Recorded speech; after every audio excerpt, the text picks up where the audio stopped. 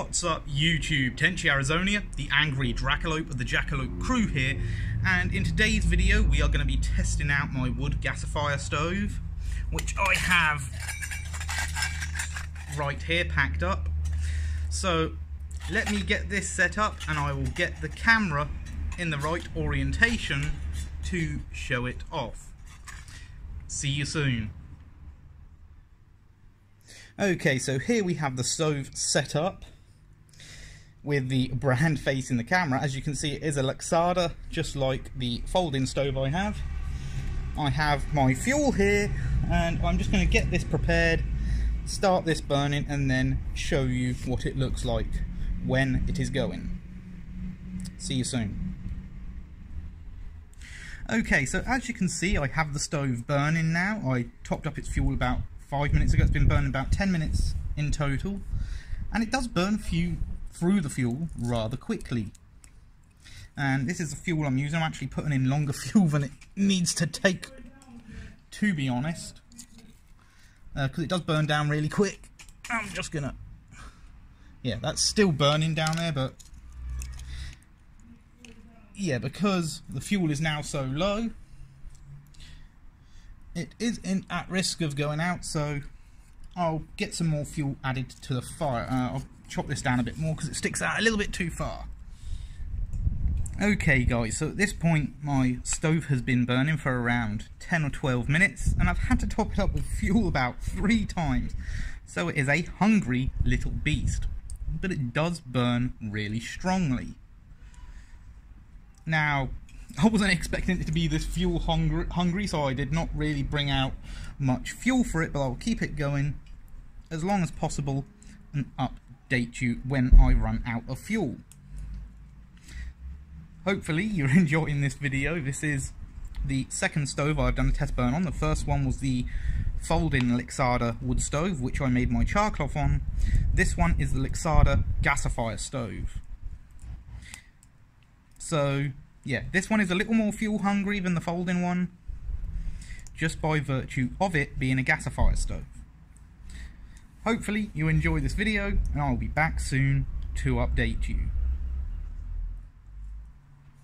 Okay, so we are now about 25 minutes into this first burn of the stove, and as I said, it is rather hungry. It has used up pretty much all the firewood I had prepared.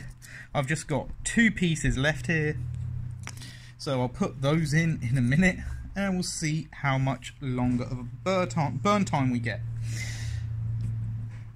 Now, I brought out about a kilo of firewood, chopped up down to this, roughly this sort of size.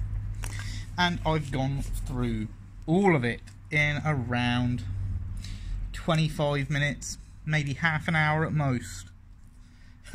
Except for, obviously, these two pieces.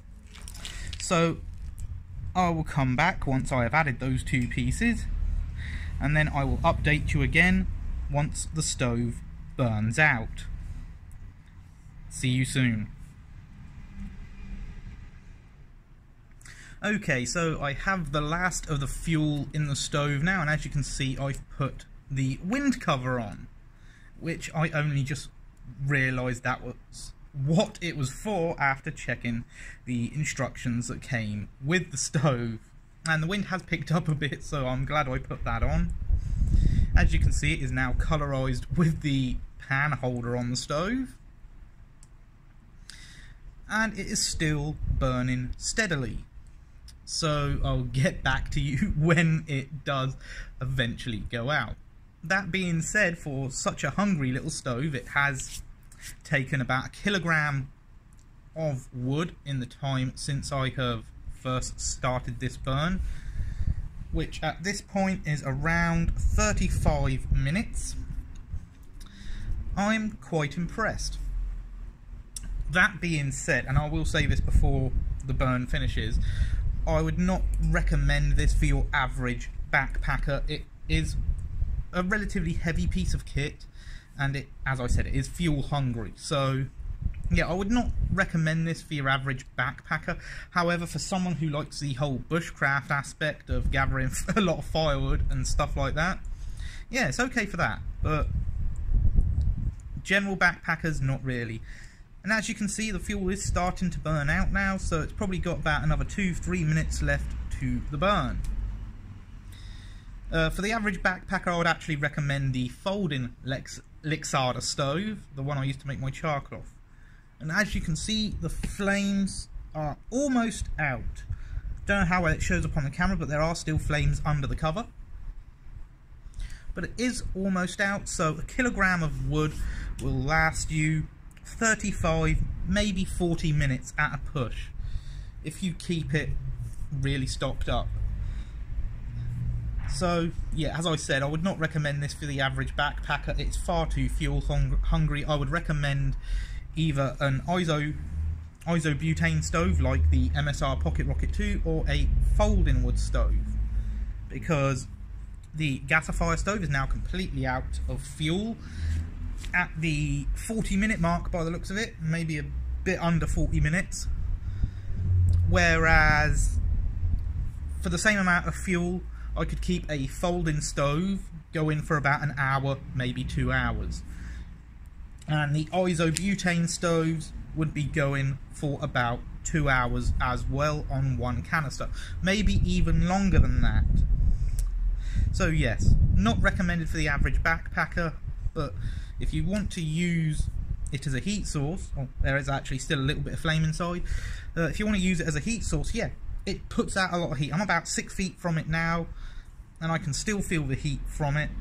I have got the camera zoomed in because I don't want to get too close to it and bugger up the lens on my camera as the camera is on my phone and it's my primary source of recording footage for my YouTube channel. I did prepare the firewood with this, my Prandy camp hatchet, Yankee style camp hatchet, and it did a good job. But using up a kilogram of wood in around 35-40 minutes, no bueno. Well folks, that's about all for today. The stove is now cooled and packed away. It burned for around 40 minutes total with about a kilogram of fuel, so very hungry stove. Anyway, hopefully you enjoyed the content, and as usual, if you like it, like it, please subscribe, comment and share, and remember, be good to each other.